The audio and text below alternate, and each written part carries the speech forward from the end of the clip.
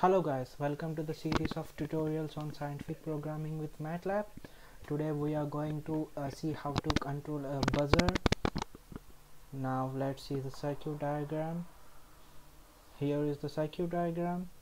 I'm using Arduino Uno and digital pin uh, 3 is connected to the buzzer which is integrated on the Pololu Zumo robot and then uh, ground to ground and I'm going to show you the uh, Zumo robot. This is a really very good uh, Zumo robot for uh, uh, for the beginners. On this uh, there are so many sensors and motors are integrated. Here is the buzzer and there are some gyro sensor and acceleration sensor integrated on this. And there are two motors DC gear motors and there is a reflectance sensor here for a line following robot.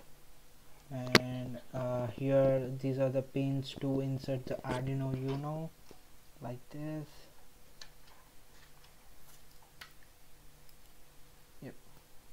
Now we are going to uh, code code it. So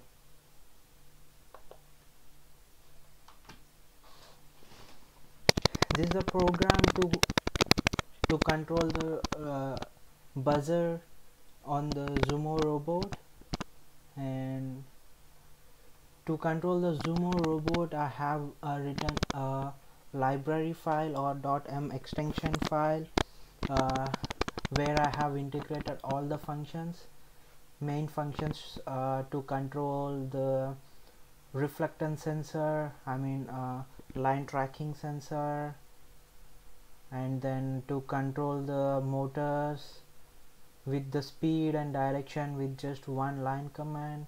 And we can control the buzzer by using uh, just one line command. So here is the function. Have developed to control the buzzer with some uh, we can play some tones.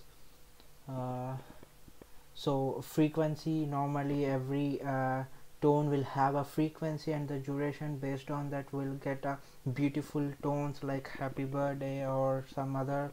So here for example I have taken this randomly a frequency with an array of uh, uh, with a few elements and then the duration of each element each frequency yeah.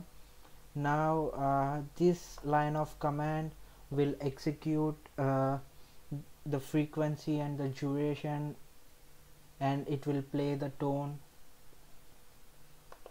Now let's go to our main program. Here I have initiated the Arduino Uno and then uh, b equals to Zumo robot of uh, Zumo robot a. This is the function to initiate an instance of the uh, library file or Zumo robot file this file. So I have initiated uh, I have initiated it our library file. So I'm opening a while loop and I'm just calling b dot buzzer of a. Why b dot buzzer because we have initiated the Zumo robot library file with a variable b. b equals to Zumo robot of a so here is the Arduino instance. We are going to send to the library file. And so uh, now b dot buzzer of a. If you uh, if you're going to uh, keep this as a other variable like p then this should be p dot buzzer. Okay. Now let's execute this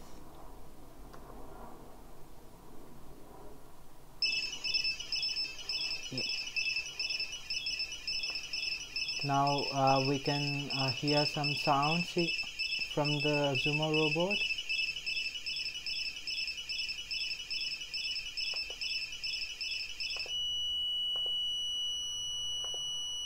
This is how we can control.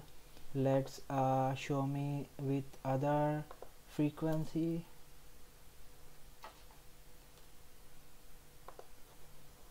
So now let's run this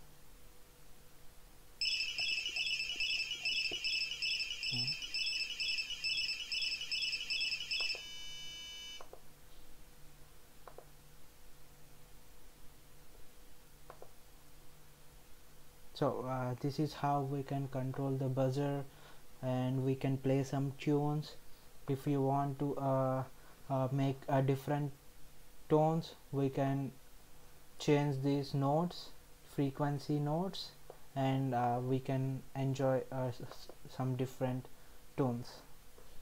Thanks for your attention